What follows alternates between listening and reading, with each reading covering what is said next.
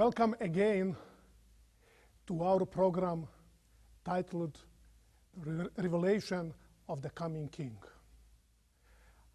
I'm Ranko Stefanovic, professor at the Seventh day Adventist Theological Seminary, Andrews University, and I'm so excited that we can spend this time to delve in the book of Revelation and try to understand the relevance, message of that book for us today. Last time I spoke about my accent. But this is not the only thing that people are confused about with regard to me. They ask about my name. So let me just take a few moments and say a little bit about my name. My name is Ranko Stefanovic. Ranko, in my Croatian language, means an early one. You know, sometimes parents, they make mistake by naming children, by giving them certain names. Early one. Okay, but my last name, Stefanovic, actually comes from Greek. In Greek language, there are two words for a crown. One is the Greek word diadema. You can guess already that from that we have the English diadem, and it's a royal crown.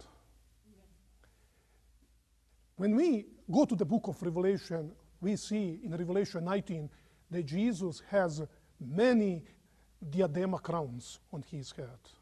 So that crown is reser- reserved exclusively for God and Jesus Christ. But we will come to that. You will notice in the book of Revelation that there is another entity in the book that claims such a crown. Probably you already guess. If you go to Revelation chapter 12 and Revelation chapter 13, you will see that the dragon and the sea beast claims that crown. So we are dealing here with a power opposing to God and claiming the prerogatives of God. But human beings are not promised such a crown. The second word for, for crown in Greek, it's a Stephanos crown. That's not a royal crown. It's a garland give, uh, given to the winners at ancient Olympic Games. It's the crown of victory. This is the crown that is promised to us. For instance, when we read in 2 Timothy chapter 4, chapter 4, Paul says, I finished the race. My life is over. And I know that to me, Stephanos' crown is promised. He said, not only to me, but to all those who are waiting for his coming. Revelation chapter 3, verse 11 Be faithful until the point of death, and I will give you the Stephanos of life. It is out of this Greek word, Stephanos, that actually my name comes from. Okay? Stephan, the Western Stephen, are both deri- derived from this word. And Stefanovic actually means a little Stephen in my language. You know, the person lived somewhere, he was a foreigner there, and people ask, who is this person? He is a son of Stephen, little Stephen. In my language, it's Stefanovic. That's how, actually how people got their second names.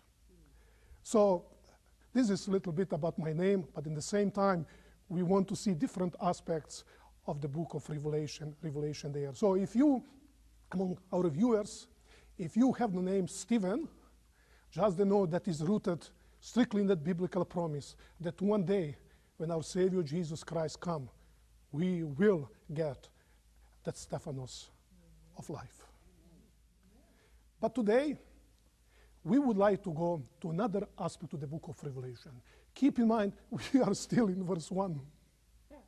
And believe me, we can spend hours and hours just on the first three verses of the book of Revelation, which actually are a part of the prologue of the prologue of the book. But about that, we'll talk later. So please, I'd like to ask you if you can open your Bibles again, but please, I want to fulfill my promise. I will do it always at the beginning of our study and at the end.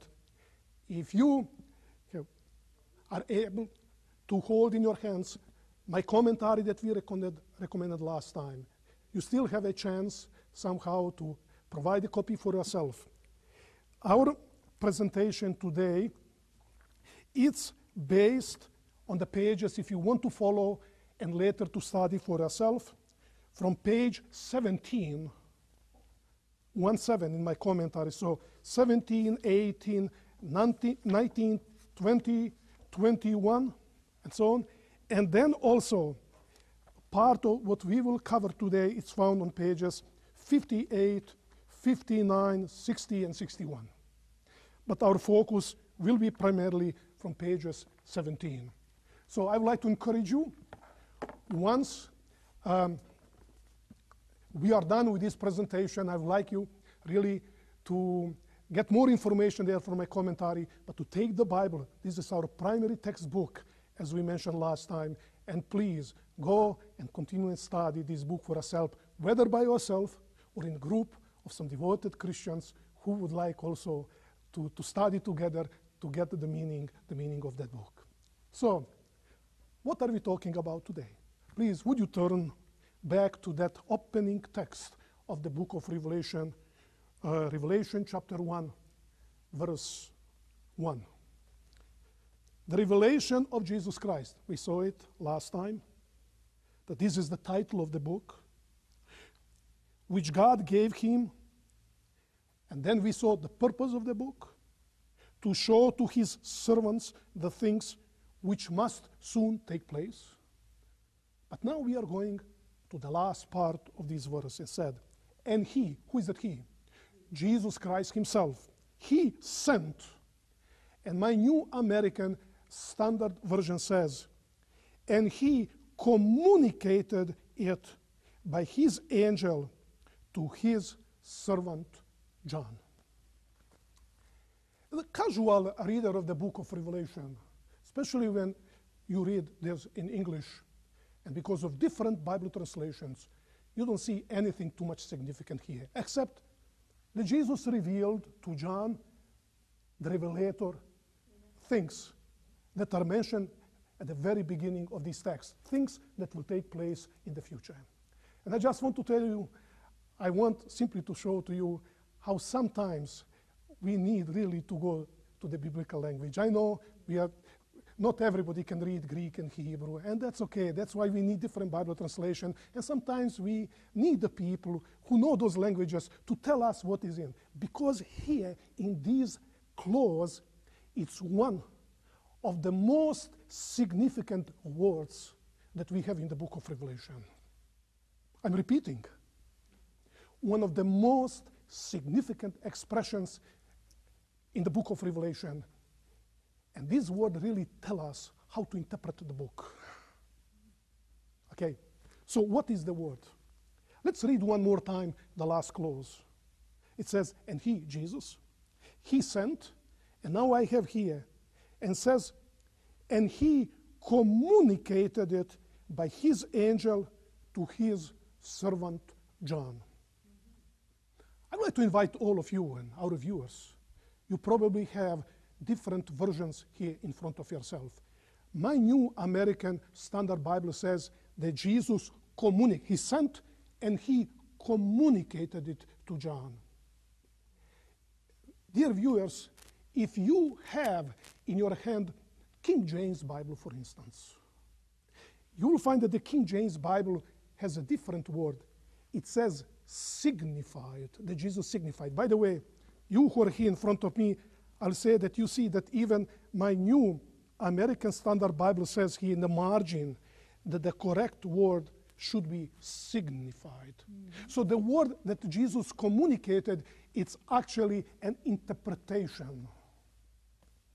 Um, for instance, a new international version has that Jesus showed uh, to John. Let's try to see what the meaning of this word is all about.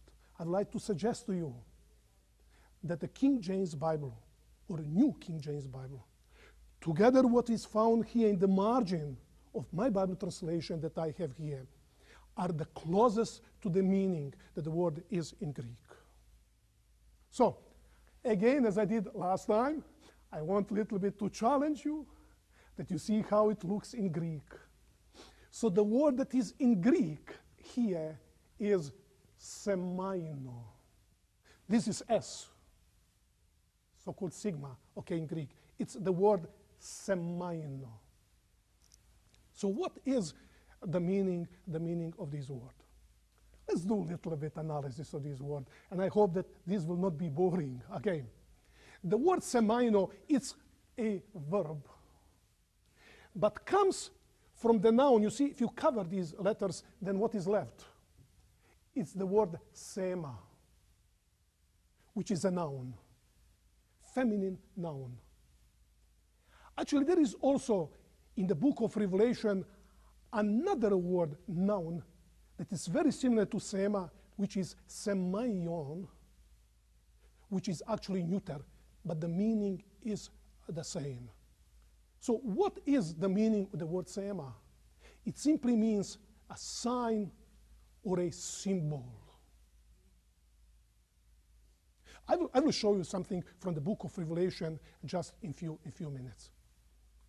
And I know that our viewers um, are in international community in different languages of the world. And if you go anywhere in the world, there is international word what United States we call a traffic light. It's typically North American expression is. If you go to Britain, where English is the official language, they use the word semaphore. Semaphore, which is the international term in Spanish, Portuguese, Croatian language, all languages of the world. This is the official word for the traffic light. Semaphore. You will notice. Sema and four. Sema means a symbol, and four is somehow the variation for light. So what is a semaphore or traffic light? You know, when you see green, tells you something. When you see red, means you see these are all signs that they mean something.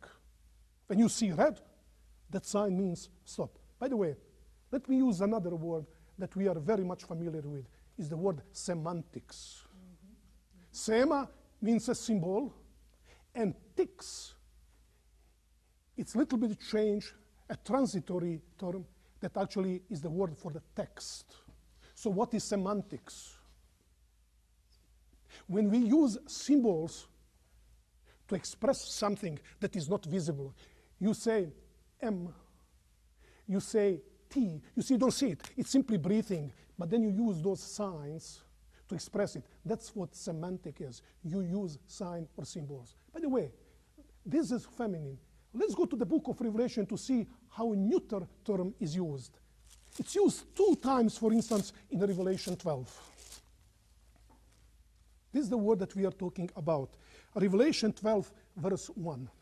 And you will see we are spending a little bit more time on that because this is, I dare to say that this is probably a single most important word in the book of Revelation with regard to the interpretation of the book. It says, you have the book, uh, the, the chapter?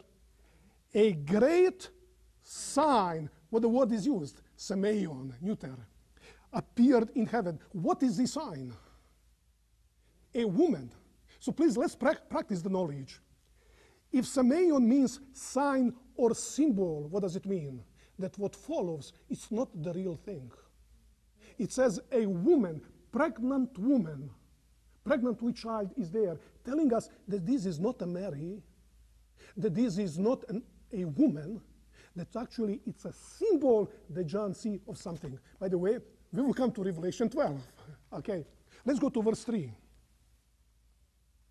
Then another semeion, which is a sign, appeared in heaven. Another symbol. What's that symbol? It's a dragon telling us the dragon is not a literal dragon. Because when we go to verse 9, it says clearly that this dragon is the old serpent, who is actually the devil and Satan. I would like to show to you something, few, few more things that we see how the word is used. Please, I'm taking time for that because, because today people are going and interpret the book of Revelation without really taking into consideration the purpose of the book that Jesus indicated how to be interpreted. Okay, if you go to the Gospel of John, chapter 12, verses 32 and 33. Then we read there, Jesus said, you know this statement is known, and I, if I be lifted up from the earth, will draw all men to myself. This is what Jesus said. But John wrote his gospel many decades after, and he now makes comment on these words of Jesus, and he said, But he, Jesus, was saying this to indicate the kind of death by which he was to die. Let me, let me, let me make sense of this. Jesus said, And I, when I am lifted up from the earth, I will draw all, my, all people to myself. What's the meaning of that? Evidently, the disciples at that moment did not understand what Jesus was saying. It was decades la- later that John understood when he was writing the gospel. After everything what happened with Jesus' crucifixion and his ascension to heaven, and he said that Jesus was saying this. Now, they put the word indicate, actually, is the word semaino used. Let, can we practice it? Jesus said this to show by means of symbol what will happen to him. So we know that when I'm lifted up, it means the, the cross. Let's see another case. The Gospel of John, chapter 21, verses 18 to 19. Verses 18 to 19. Is the book of Revelation very exciting book to study? Yeah? Okay, 21. G- again, the words of Jesus. Truly, truly, I say to you, when you were younger, you used to gird yourself and walk wherever you wished. But when you grow old, you will stretch out your hands, and someone else will guard you and bring you where you do not wish to go. So these are the words that Jesus said to Peter, but evidently Peter did not understand what Jesus told him. Was that Jesus tried to tell him, you will stretch your hands. Somebody will take you to the place you don't want. Was actually it was again decades later when John was writing his book that he understood it and he makes a comment. Now, this he said, signifying the word semaino is used. It means showing him by means of symbol what kind of death he would glorify God. And when he has spoken this, he said to him, Follow me. So I hope now that we can get a little bit insight into the meaning of the word semaino. But there is another word that is probably uh, an, another biblical passage that is more significant. And when John in Revelation 1 1 quoted the words of Jesus, in using the word semaino, actually he had another book in his mind, and that's the book of Daniel. Uh, I don't know if you're familiar with or not, but the Bible, yes, originally was written in Hebrew, and few chapters were written in Aramaic. But actually, it is 300 years before Christ that the Bible was translated into Greek language, known as the Septuagint. So, Septuagint is Greek translation of the Old Testament. So, in Daniel chapter 2, verse 28 of the Septuagint version, we have the following words. I would like us to read it. However, there is a God in heaven who reveals mysteries. And now, let's pay attention. And he has made known, actually, the word semaino is used. God made known. What, what, what does it mean? It means that God revealed to the king Nebuchadnezzar by means of symbol what will take place in the latter days. This was your dream and the visions in your mind while you were on your bed. Actually, it is the Septuagint version that uses the word semaino to indicate that what the king Nebuchadnezzar saw in that dream was actually a symbol or a symbolic presentation by which God wanted to show to the king Nebuchadnezzar what will take place in the future. I hope now that we have already a sense of feeling what the meaning of this word is. So I'd like to give you a lexical meaning of this word. It simply means to show or to communicate something by means of sign or a symbol. It means to show, to communicate something by means or signs of symbols. So let us now practice this knowledge here. Let's go back to Revelation 1 1. Let's go to the last clause of verse 1. And he, Jesus, he sent and he showed it by his angel by means of symbol to his servant John. I don't know if this is good English what I what I express it here, but I hope you were able to get the meaning of this text. As I mentioned, this is probably a single most important word in the book of Revelation with regard to the interpretation of the book. And the text is telling us, these words telling us, that when Jesus came and he revealed the content of the book of Revelation to John, what John saw it, what was shown to him, it was not something literal. It was shown to him, to him by means of a symbol. Oh, now we uh, have a great discovery now, telling us that John received his visions in visual or figurative presentations. Oh, we learn something new. But please let us build on this. When I usually talk to my students and different people about, about this, people reach different conclusions. And I will, I will never forget, I was in one part of the world talking about this. And then people ask me questions because somebody else who had heard my presentation before was talking to them and telling them, you see, nothing in the book of Revelation is real. Everything is a symbol. And in order to explain to those people what actually the text says, is said, let's take, for instance, New Jerusalem in the book of Revelation. You see, there is no city. It's a simply, simply a symbol of something. Symbol of what? So I had to intervene. And from that time, it was actually, it happened three, four years ago.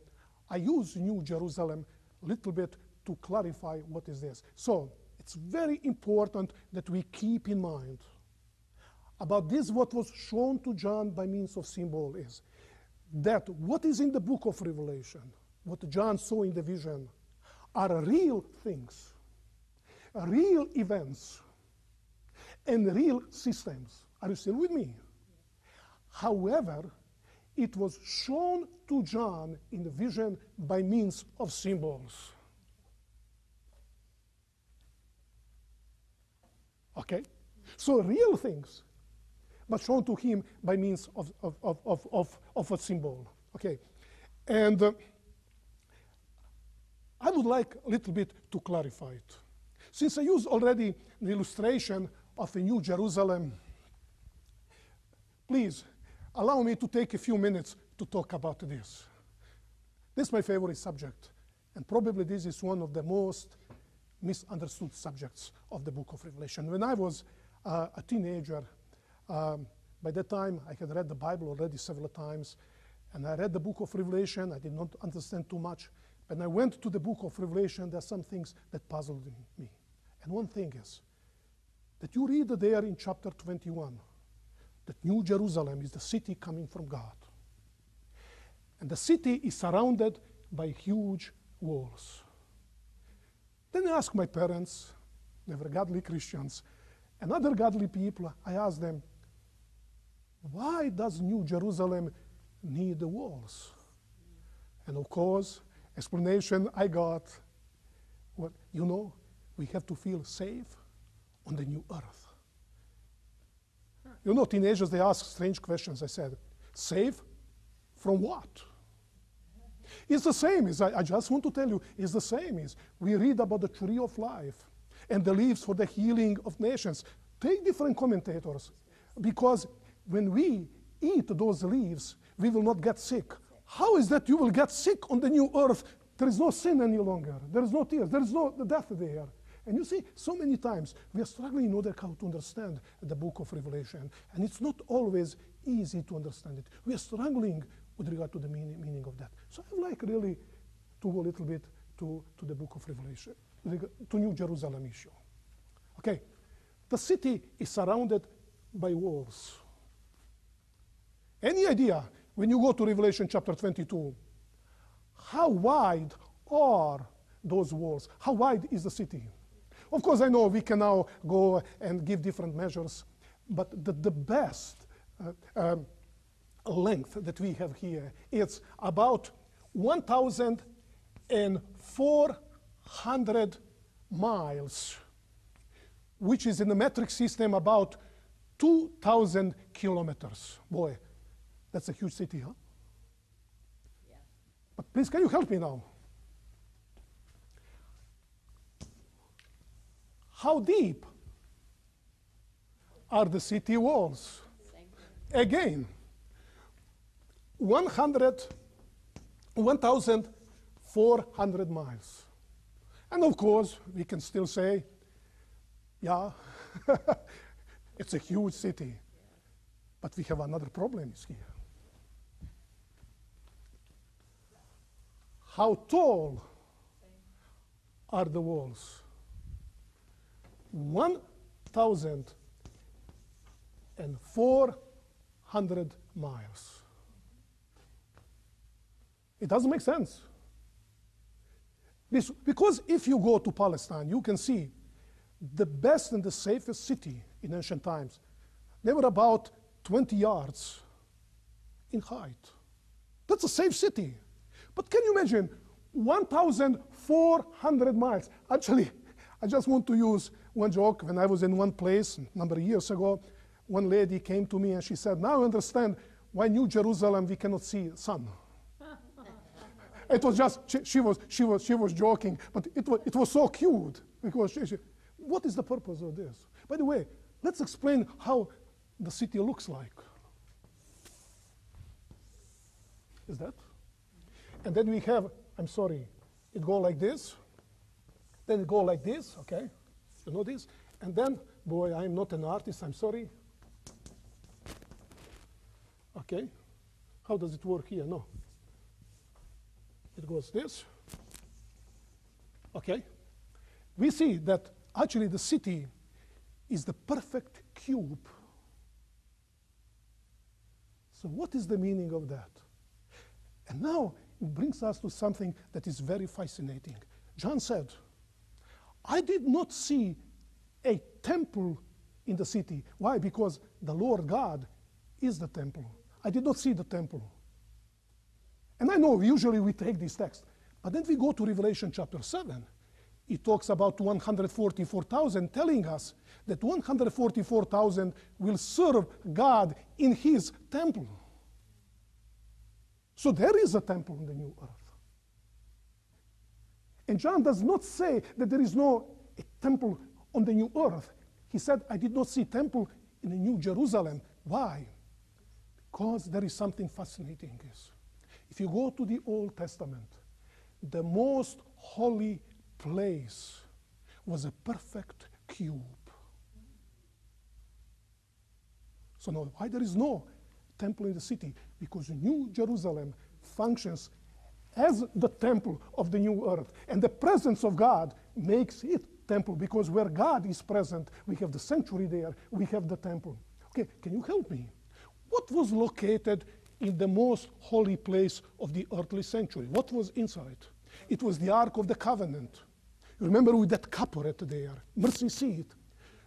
What did the Ark of the Covenant symbolize? The throne of God. Now John said, I saw the throne of God in the city.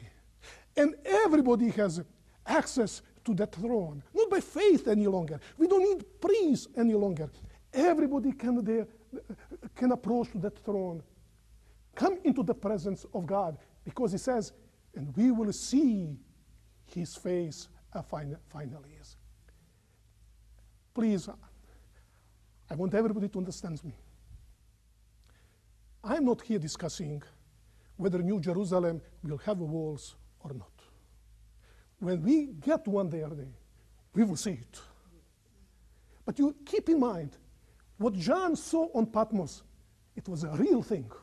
So he saw a real city. However, how can you describe something, as Apostle Paul said, what human eyes did not see? What we never heard with our ears, what cannot come to our mind. This is what God prepared to those who love Him. How can John portray the city, or better to say, how could Jesus portray to him a city that is so safe? Because we know in the first century, during the time of John, a safe city, it meant that that city was surrounded by good walls. Without a wall, it's not safe city. Nobody would be able, actually would like or want to live in that city. It means anybody can come and, and destroy that, that, that, that, city. So it signified really safety with possibility. Yeah, the New Jerusalem can have the walls, but we want to try to find out the meaning of that, of that reality that John saw, to telling us, to telling us that that city will be really, really the temple of God, which is safe. And I, I try always to tell my students, maybe if Jesus showed to John New Jerusalem today, John would say, boy, I saw angels in police cars patrolling their streets, no drug dealers, no criminals there. You see, the, the, the, the thing is, it's a safe city. It's the place where God will dwell with, with, with, with his people. But symbolic meaning is drawn from the sanctuary system. We have the tree of life and the river there, telling us that New Jerusalem will be the lost garden of Eden. And also the concept of the saved city from the time of John. You see that those elements, keep in mind that God always speaks to the people in the language that people can understand. God speaks to us in our language that we know.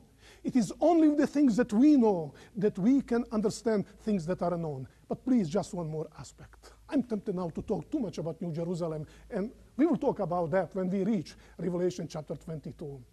One of special aspect of that message given to me is that says, an ethnoi will come to that city from, the, from that word ethnic comes. And the word is translated into English as Gentiles or nations. Will come to that city and bring their gifts uh, to God and their glory to God. When John wrote this, it had a special meaning for him. Yes. At the time of John, there was a city of Jerusalem. And that city okay, had several courts. The widest area around the temp temple was the so-called the, the court of the Gentiles. The Gentiles were allowed only to that court because the Jews did not believe in the conversion of the Gentiles, so they did not care there. But there are many Gentiles, they wanted to come to worship the God of Israel. So they were allowed only to come into that place. There was a next court, known as the court of women. Only women were the women allowed only in that court. Then there was the next court, next court, the court of Israel, and at the very temple where the priests could come and officiate sacrifices there. And John, while he was in Jerusalem, he could watch. Because from the court of the Gentiles to the next court, the court of women, there at the entrance, there was a huge inscription that any Gentile who passes through this gate will be responsible for his own death. By the way, if you go to Israel there in museum, you can see that inscription that is found. It's there in, in the museum. The Gentiles were not allowed there. By the way, it was in that court of the Gentiles that the greedy Sadducees invested all kind of business. It is from that court that actually Jesus, you remember that, expelled all those sellers there and, and money exchangers, etc. They did everything to prevent Gentiles to worship and to give glory to the God of Israel. But what do we have now with the New Jerusalem? That the promise that given through the prophet Isaiah, and my house will be called the house of prayer to all nations, nations, Gentiles, finally will be fulfilled. You see, friends, when we read about the New Jerusalem and we try to speculate, is it real city or not? The answer is, it is a real city. It, it was shown to John by means of symbols that he could understand, etc. But there is much more in that. That that symbolic language is telling us that with that promised city that God one day will give his people, will have all God's promises given to the humanity finally to be fulfilled. So when we read about that gold and silver, when we read about those precious stones, it's not really, the issue is not about precious stones and gold. It's about glory of God that we build in a city. And I just want to tell you, I cannot wait. But crossing that city and finally see his face. And that the desire of human beings that is best expressed in the words of Moses Lord, show me your face. Finally, will be realized. And we will all be able to see God's face and find ourselves there to the next throne of God. That's what the message of the book of Revelation is. So now the time that is left to us, we want to understand a little bit about that symbolic language. So please, we have to ask ourselves one question is, who is that that shows that symbolic language of the book of Revelation? We read clearly in verse 1 that actually it's a Jesus who chose that language to show to John the events that will take place in the future. Are you still with me? Mm-hmm. And God always speaks to the people in the language that they can understand. That's why New Jerusalem is portrayed in such a way. But not only that, when we move on through the book, we see also that so many times when John sees something in the vision, he tries to, to describe it, but the words are lacking. So he chooses his own symbols to explain it. How do you know that, that John so many times chooses his symbols?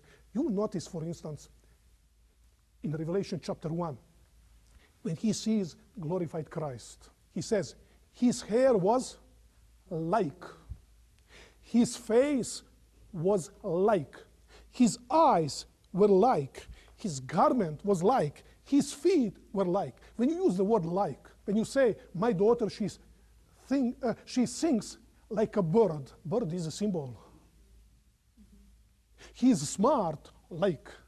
You see, so many times, John, by using the words like or as, he adds his own symbols.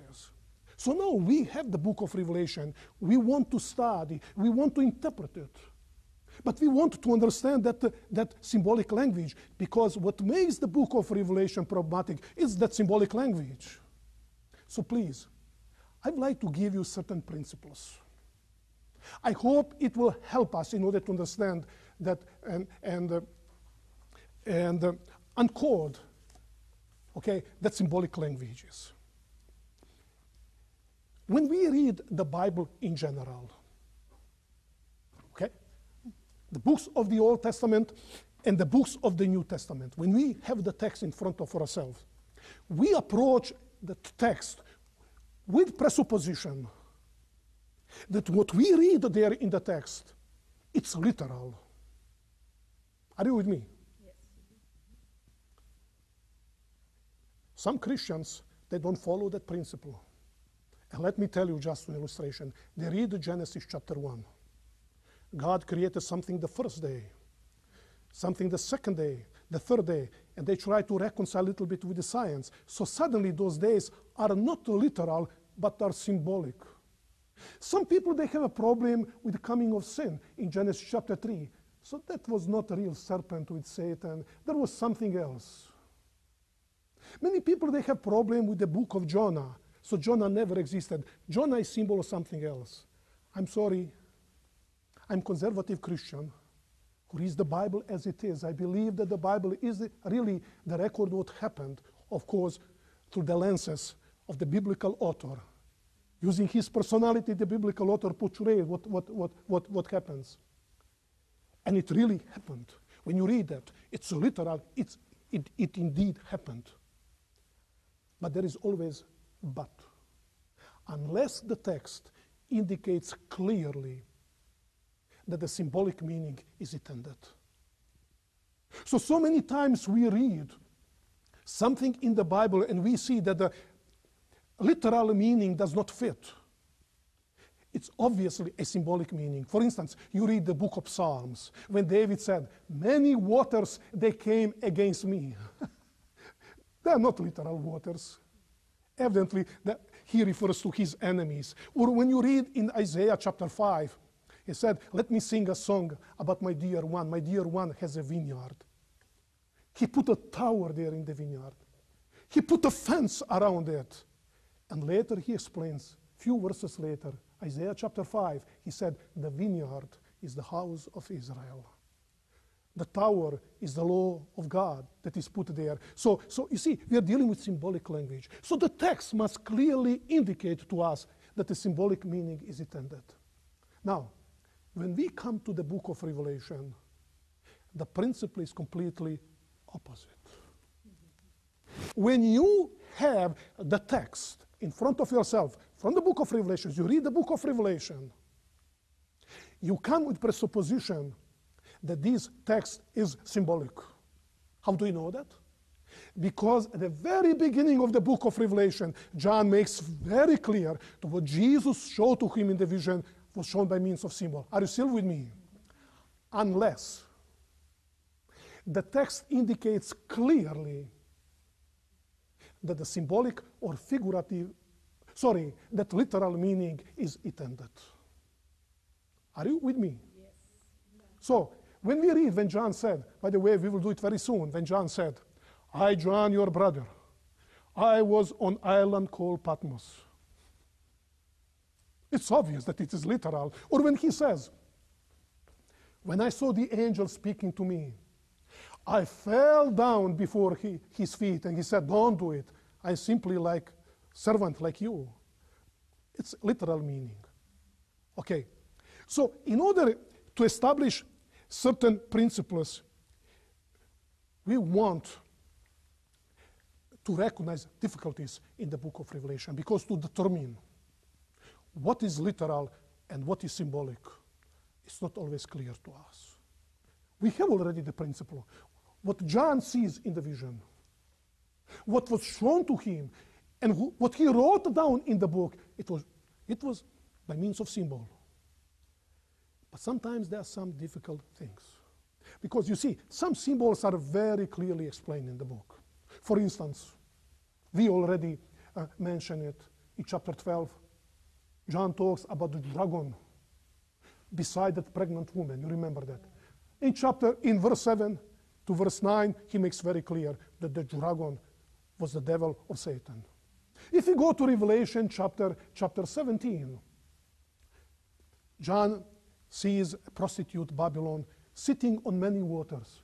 In verse 15 of the same chapter, he explains that the water upon which the prostitute was sitting signifies secular and political powers of this world. You see, there are many symbols in the book clearly explained. But what is the problem? That many symbols are not explained. And this is actually the, that adds difficulty to us when we try to understand the book of Revelation. So to determine sometimes what is literal and what is symbolic or figurative in the book of Revelation, it's not an easy task for the interpreter. And we will come, for instance, um, to Revelation 16. We have seven last plagues. When we read the last three plagues, fifth, sixth, and seventh, it's clearly that it is symbolic. We have river Euphrates. The fifth plague strikes the throne of the beast. In the seventh plague, you have the fall of Babylon. It's clearly the symbolic language. And that's not the problem. But when we deal with the first plague to fourth, striking the sun, the water, etc. It's not clear to us. And I will show to you, strictly on the basis of book of Revelation, you'll be surprised that actually it's literal, it's not symbolic. So you see, in one chapter, one more time, we're using our best abilities and help of the Holy Spirit to understand it. The first four seals we interpret as literal, the last three as symbolic. So you see, it tells us about, about the difficulty. By the way, we will come also to Revelation chapter 6. You know that about the darkening of the sun, of the moon, and the falling of the stars. There are today some Christians, they believe that it's figurative, it's symbolic, it's not literal sun. By the way, I will show to you exactly from the book that it is literal. You don't need to doubt about that. But just a few years ago, we were struggling. We did not know how from the book to show if it is literal or symbolic. So it's not always easy. And I'd like to encourage all of you and, and our viewers is when we have a, some symbols of the book of Revelation, and the book does not show to us clearly whether it is literal and symbolic, we can disagree. But instead of fighting, we should listen to each other. Study together. Not the other people disagree with me, they're heretics. Because of that, they disagree with me. It means that we have a difficulty in the book. We have to study, we have to pray together. Only when we are united, when we study the text together, we can find the answer. But disagreeing, we will, we will never, never able, able to reach it. I just wanted you that you are aware, even though we have certain guidelines and, and, and, and principles. At the beginning of the book, John makes very clear what was shown to him.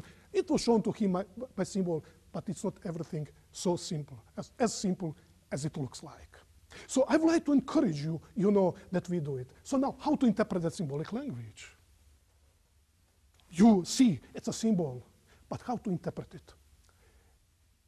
One of the ways to interpret the symbolic language is today to take newspapers and to interpret it. But what is the problem? The John the Revelator, when Jesus showed to him those visions, he did not have New York Times or Time Magazine etc. You already have a hint how to do it. So it means when Jesus showed to John those visions, in what language or what kind of symbols did Jesus choose to communicate to John? The symbols that he understood 2,000 years ago. So now people are asking, what do you scholars, what, what are you doing when you interpret the book of Revelation? We search ancient literature from the time of John in order to understand what those symbols meant to John and to those Christians at the time when John, when John lived. So we have to understand, we have to understand that the book of Revelation was originally written 2,000 years ago, not in 21st century. It was written in the language of the people of that time. Another point is, we have also to keep in mind is as we interpret that symbolic language, that symbolic language was not abstract. It was pictorial. What does it mean? That when that language was chosen, it was taken from the history of God's people of the past, of the past. So when Christians of the time of John, when they read it, when we read today, it's not only about the symbol, it's about great message that is given to us. So the time is, is left, we have a few minutes, so please allow me. Because the viewers will say, I'm studying the book of Revelation. Yes, I have your commentary. My commentary is written for the primary purpose, not always to give you the interpretation, but to help you in understanding the symbol. Okay? But you say, I would like to search deeper. Where can I find the meaning of those symbols? In order to um, provide the answer to that question, we ask ourselves a question where was the symbolic language of the book of Revelation taken from? And let me be frank with you. It's very simple. It was actually almost 100 years ago that some famous scholars, they went verse by verse, verse by verse, phrase by phrase. And they went to the Old Testament and they discovered, you know, when you put all verses of the book of Revelation, when you put them together, we have 404 verses. That actually today we know that more than 300 verses of the book of Revelation, 300 verses of the book of Revelation, you can trace them directly to the Old Testament. See, that symbolic language is taken from there. Why is that so? Keep in mind that the book of Revelation, it's like a parable that Jesus did. So when God wanted to inform his people through John that at the time of the end, there will be a power that will God's people trying to destroy them. If you want to use a parabolic story to tell them what you would use, you use the language that says that that power will be called Babylon. Now everything becomes clear. Because the early Christians in the first century knew who Babylon was. It was a tool and instrument in the hands of Satan, responsible for taking the people of Israel in Babylon, etc. So, what happened in the past finally will happen in the future. Let me show to you another illustration. Revelation chapter 12, we mentioned it. I'm going back to that. John sees a woman that is pregnant, in pain to deliver a child. And then there is a dragon there waiting for the child to be born, to be destroyed. Let me ask you something. Now you have to help me. What suddenly picture come to your mind? A woman that is in pain to bear a child, and there is a dragon that is the enemy trying to destroy the child. What comes to you? Genesis 3:15. When God said to the woman, "You will in pain bear ch- uh, uh, children, but I'm make, making enmity between you and the Satan. Between. He will trample on your head. You see that. You have here the fulfillment of that promise. Another one. We read in, in book of Revelation, chapter, chapter 15, how 144,000 are standing there at the sea of glass, singing the song of Moses and the Lamb. Just they, they have come out of the seven last plagues. What, what suddenly comes to your mind? The Egyptian plagues and people of Israel at the Red Sea there, Mary, Miriam actually, leading that song, the song of Moses, singing to God. You see that the entire book of Revelation is written like that. So if you really want to understand the meaning of that symbolic language, what is the first step?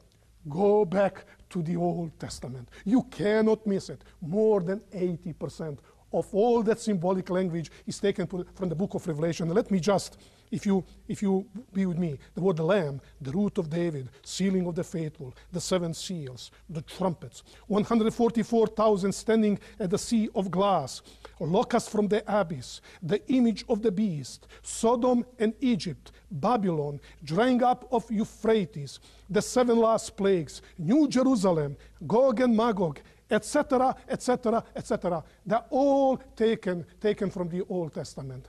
I, I want just to go quickly here. We will see, we will come to the, to the second trumpet. It talks about great mountain in Revelation 8, verses 8 to 9. Um, great mountain burning with fire was thrown into the sea. The third of the sea became, became blood. By the way, if you go to Jeremiah chapter 51, we're talking about Babylon destroying mountain, destroying the earth. And that, that mountain will be thrown into the sea and will be destroyed. You see, then the book of Revelation is not as difficult as it appears. That symbolic language is much easier to understand when you know what that symbolic language was taken from. But just briefly to mention we have some remaining parts of the book of Revelation. We try to understand that symbolic language. By the way, some of that symbolic language was taken from the New Testament. John also used the symbols from Asia, from the time when he lived, in the same way as we use the symbolic language. But much of that symbolic language was taken from the Jewish apocalyptic literature. You see, when the Jews came out of the Babylonian exile, there is a huge stream of literature that was written trying to explain to the people about those unfulfilled prophecies of the Old Testament, why they did not take place. And they used the language of the book of Daniel. They added many other symbols, many books. So that symbolic language was so much in the minds of, of, of, of God's people of Israel during the time, and early Christians, they did not have difficulty when they read about the woman, when they read about the beast, when they read about horn, when they read about uh, 1260 days. There was no difficulty to understand it because this is the language they used in the synagogue. They used in their conversations um, about the Old Testament, about God's unfulfilled prophecies. You see, friends, how the book of Revelation is given in the real world. It speaks so powerfully. It spoke to the people who lived at the time of John 2,000 years ago. Keep in mind that the book of Revelation was not written to us today. I know, I know what you think. It was not written to us today. It was written to those Christians 2,000 years ago. But it was not written for them only. It was written for us as well. But originally, it was written to them. So we need a little bit to be acquainted about the way how the book of Revelation was written. We have to, to be familiar with that symbolic language, about the sources from which that symbolic language was taken from. But about all, I'd like to advise you when you take the book of Revelation, the first thing, go down to your knees, close your eyes, and say, Lord, I am doing my best. I want to understand the message of the book of Revelation. So please speak to me. Give me your Holy Spirit. Use all those good tools. This is the best textbook. Other tools. Pray to God. And the book of Revelation speak will to you powerfully.